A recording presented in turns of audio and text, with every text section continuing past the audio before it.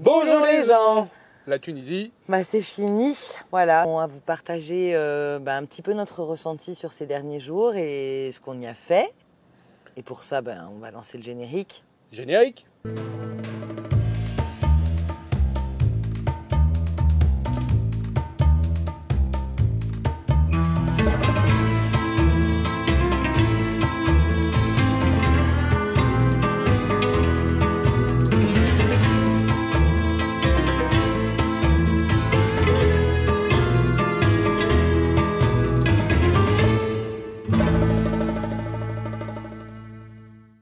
Comme vous le savez, si vous nous suivez sur Instagram, il y a le lien dans la description, euh, on est à Lyon.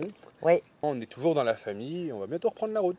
ouais, ça, ça viendra. On essaie de rattraper. Vous le savez aussi, quand on rencontre des gens, on filme très peu finalement. Et euh, c'est un peu le cas de cette dernière semaine en Tunisie. Ouais. On a filmé des choses, on va vous les partager. Mais euh, il s'est trouvé qu'après Bizerte, on était en contact via les réseaux sociaux avec une famille qui avait voyagé en camping-car avec ses trois enfants euh, et qui habite à La Marsa, donc à Tunis. Et qui nous ont dit venez à la maison, on passe la soirée ensemble. Donc, à notre habitude, on y est allé. Et qu'est-ce qui s'est passé? Bah, on, on s'est très bien entendu Ouais. avec euh, Olivier et Véro Et leurs trois enfants. et leurs trois enfants, Lilian. Baptiste et, Et Flora. Flora. Et bah voilà, première soirée euh, nickel, on lance les machines. Deux- deuxième journée, bah vous restez, que ça fallait que ça sèche. sèche. euh, on continue à discuter, et puis bah de fil en aiguille, euh, On est resté une semaine chez eux. voilà. Alors après, on n'a pas fait, on avait pas mal de choses à faire à Tunis aussi. Oui, c'est vrai. Donc on en a profité, euh, bah, c'est surtout toi qui t'es chargé de ça, d'aller euh, s'occuper du camion. Ouais. On, on a, on a profité surtout pour changer le filtre à air, parce qu'on avait quand même mangé pas mal de poussière. Ouais. Donc c'était important qu'on le fasse avant de partir. Et on aurait dû faire d'autres réparations, mais ça on vous en parlera dans un prochain vlog, puisque si vous nous suivez sur Instagram, euh, vous avez vu. Mais d'ailleurs j'avais peut-être même fait un... Il y a des stories maintenant sur euh, YouTube. Et on avait lancé un petit appel à l'aide, puisque voilà, on a eu une panne, mais ça sera le prochain vlog. Euh, voilà, on a profité. Et on a aussi fait un truc super bien, c'est qu'on a réparé le lit de la capucine Oui, oui, oui. qui commençait à affaiblir au niveau de- du sommier. Euh, bah, ça fait un peu trois ans qu'on dort dedans et bah, les camping-cars sont pas faits pour ça. Et là, surtout, c'est un sommier en bois qui est au-dessus du vide en fait. Il est juste tenu par euh, trois coins, Enfin, oui, il y, a quatre- il y a trois côtés sur quatre. trois côtés sur quatre. Au bout d'un moment, forcément, il s'affaisse. Donc là, je suis allé voir un menuisier et bah, il m'a mis des renforts. Il m'a mis trois renforts le long euh, des lattes. Et là, droit. on dort beaucoup beaucoup mieux. Donc voilà, c'était un peu. Mais on a quand même pris le temps d'aller euh, faire un tour à Sidi Bou Saïd. Euh, c'est, euh, ben, on vous laisse avec les images.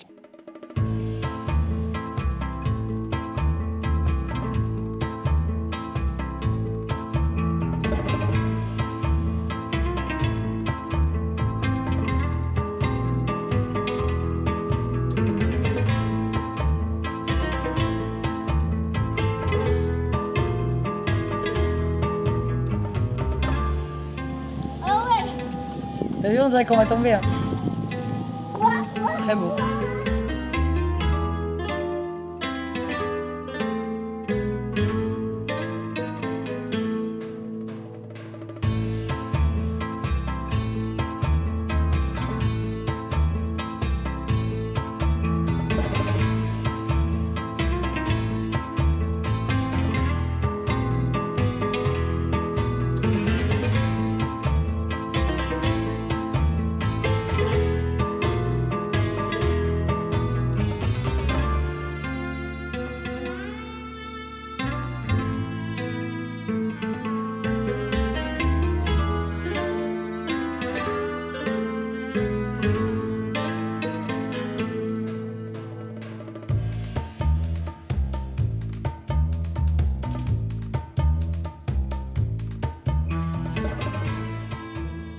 Alors, ce qu'on a pensé de Sidi Bou Saïd, c'est que si vous ne devez faire qu'une seule chose en Tunisie et que vous cherchez à faire des photos très très belles, il faut aller à Sidi Bou Saïd. C'est ultra cliché, c'est ultra Instagrammable. Voilà, c'est vraiment, c'est très beau, c'est tout blanc, c'est tout bleu. Je pense que les habitants sont obligés euh, de repeindre leur maison tous les ans parce qu'il y avait des peintres dans tous les sens, ça repeint, ça repeint. C'est vrai que la vue, euh, alors c'était un peu couvert le jour où on y est allé, Mm. euh, mais on a vu sur toute la baie de Tunis jusqu'à Corbous, voire même presque le Cap Bon, on peut deviner le Cap Bon, donc c'est vraiment très très joli. Euh, c'est un bel endroit, c'est reposant. Après, c'est un endroit ultra touristique. Je crois qu'on n'a jamais payé une bouteille d'eau aussi cher que là-bas. Après, à nous, il n'y avait pas grand monde, c'était un peu notre chance. Oui, c'est vrai que c'était ultra calme. Vous l'avez vu sur les images, il n'y a personne dans les rues. Mais euh, voilà, c'est un peu, euh, c'est un peu le cliché. Mais euh, c'était quand même chouette. On a passé un bon moment. C'était une jolie façon de dire au revoir à la Tunisie, parce qu'avec bah, ce panorama-là, bah, on a revu les, nos premiers paysages tunisiens, qui étaient bah, le Cap Bon, Corbous et les îles Zambra qu'on voit au loin. Ouais, donc c'était chouette. C'était la boucle est bouclée, quoi. c'est ça. Donc voilà, ça c'était Sidi Boussaïd. Et après, on devait aller à Carthage. On n'a pas allé à Carthage. On devait... Bon, bref. Mais par contre, euh, bah, comme on était chez Olivier et Véronique, on en a profité. Ils nous ont proposé de garder les enfants. Ça, c'était cool. Et on est partis tous les deux euh, seuls à Tunis euh, pour notre dernière journée. Enfin, dernière journée de visite. Après, il faut dire qu'on avait aussi un rendez-vous assez important. Mm on avait rendez-vous avec le ministre du Tourisme tunisien. Feriel, qu'on avait rencontré à Paris, nous a proposé de rencontrer le ministre. On était hyper surpris, le ministre du Tourisme, et on s'est dit bah, pourquoi pas, c'est aussi l'occasion peut-être de passer des messages qui sont importants pour nous. Euh, donc on avait rendez-vous, ça a duré à peu près une demi-heure. Avoir notre ressenti sur euh, bah, nos six mois en Tunisie et euh, bah, notre road trip en camping-car. Donc bah, c'était un échange très intéressant. Ouais. Il nous a demandé ce qu'on avait, si on avait aimé la Tunisie, évidemment. Mais c'est surtout que la Tunisie a plus l'habitude d'un tourisme très court et en hôtel. Ils ont, et on l'a vu hein, sur nos six mois, on a très peu souvent trouvé de camping. Donc c'était plus voilà, ce ressenti-là qu'il avait envie, voir quels sont les besoins des camping-caristes. Parce qu'il comprend les enjeux de faire venir les camping-caristes en Tunisie et il voit l'intérêt financier évidemment.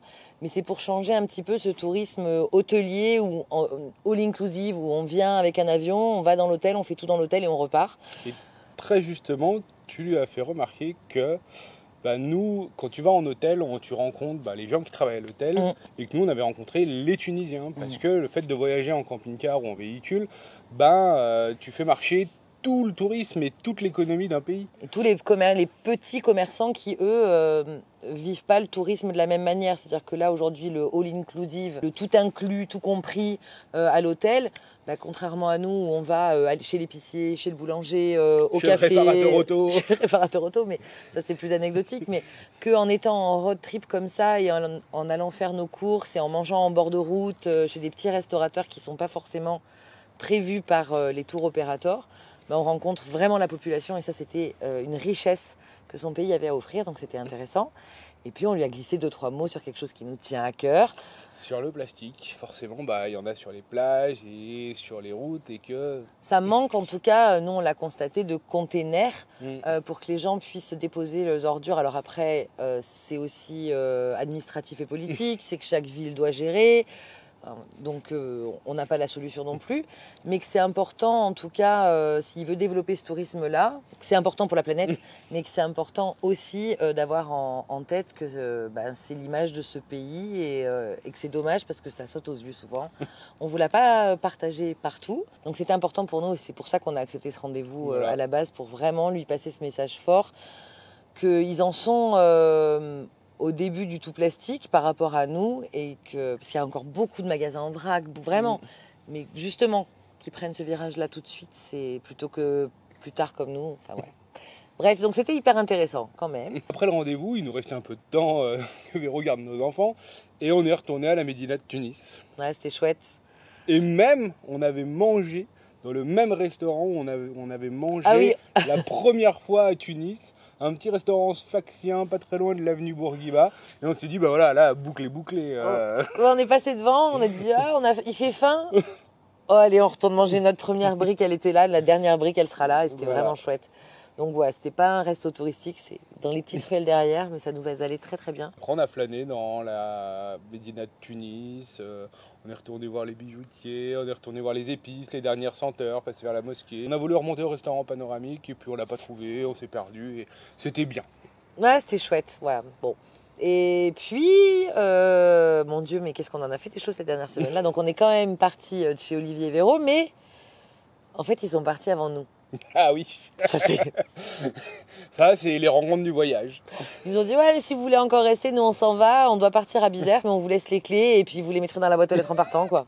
Donc, on s'est fait une soirée dans leur magnifique maison et on a regardé un film qui était parfait pour finir Ah cette ouais, semaine en Tunisie, euh, qui s'appelle Un divan à Tunis. Qu'est-ce qu'il y a, Liam? Rien? Rien Attention derrière toi Qu'est-ce que voulais finit dire dans On cinq finit minutes, 5 hein. minutes. On finit dans 5 minutes. Euh, donc on a regardé un film. Si vous connaissez la Tunisie un petit peu, Choya, euh, on vous conseille cette jolie comédie qui s'appelle Un divan à Tunis. C'est l'histoire d'une franco-tunisienne qui a fait ses études de psychanalyse à Paris et qui revient au pays, à Tunis, bah, pour euh, devenir psychanalyste. et ouvrir son cabinet euh, au-dessus de chez son frère ou de son, oncle. Son oncle, c'est ça. Et Bah, puis, voilà. euh, voilà, vous allez avoir plein de personnages hauts en couleur avec toute la satire sociale de la Tunisie condensée et vraiment, Ouais, euh, c'était c'était chouette. c'était chouette. Si C'est un joli pas- film. Si vous l'avez pas vu, regardez-le. Et puis après, on est parti pour notre dernière journée cette fois-ci. On est retourné euh, dans la famille de Nejia, qu'on avait rencontré à Tabarka sur la plage et qui nous avait invités dans leur maison de vacances. Et là, ils nous ont carrément invités chez eux. On a dormi dans Tadam quand même. Parce qu'on, bah, ils voulaient pas qu'on dorme dans Tadam, hein, ils voulaient qu'on dorme non. chez eux. Mais voilà, il y avait toute la famille, les cousines qui étaient là en plus. Et c'était un, un très très beau moment de partage. Ouais, vraiment, on a c'est une famille qu'on, bah, qu'on aime. voilà. et c'était chouette. Et ouais. Bah, voilà, la boucle est Voilà, bouclée. on n'a pas filmé non plus parce que quand on est avec des gens, on filme pas, mais euh, On vit le on moment. a ouais. mangé, mangé, Mangé. mangé, et partagé, discuté, euh, refait le monde. philosophé, euh, voilà. C'était chouette. Et puis on a pris le ferry et c'est là que je. On a quand même des images. Euh, on a filmé un petit peu sur le ferry et on va vous mettre ça euh, tout de suite. I saw the light go down on Baker Street. Don't know exactly where she wants to meet. The last cigarette, broken fall. The rain's gonna be really soon.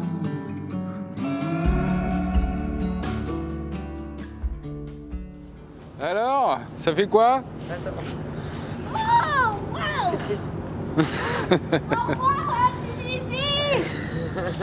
Ah, Liam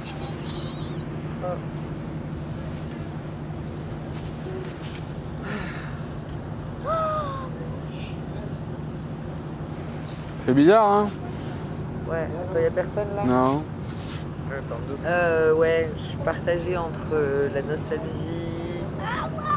En plus, là, le, le bateau il a eu du retard parce qu'il n'y avait pas les camions. Enfin, on n'a pas tout compris, mais on s'est dit euh, la Tunisie veut pas qu'on parte.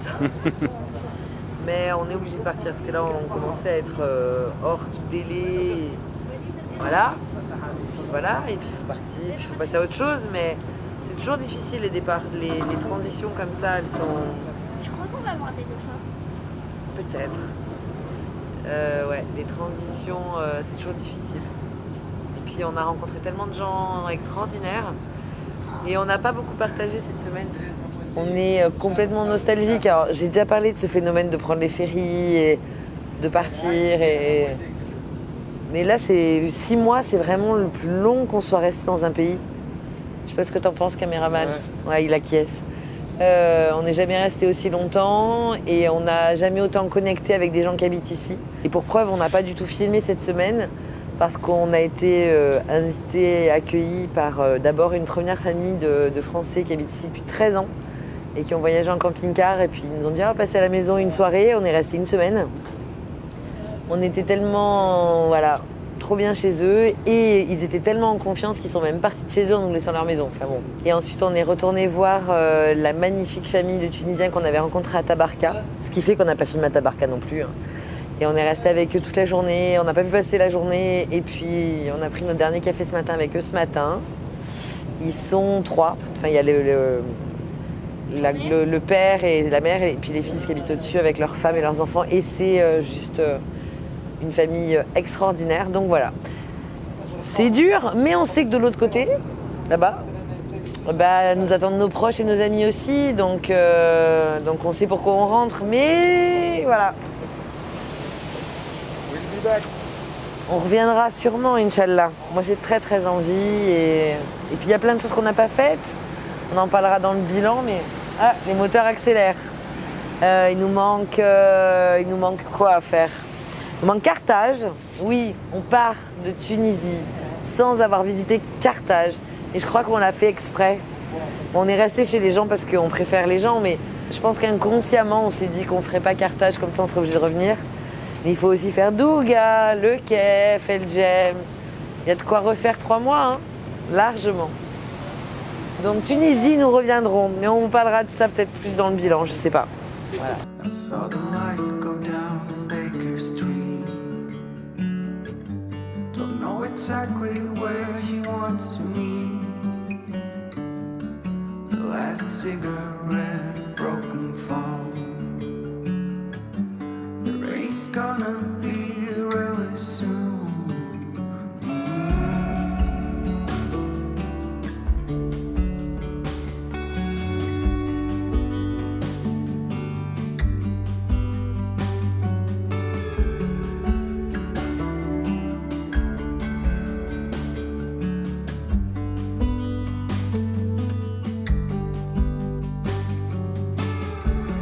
Don't know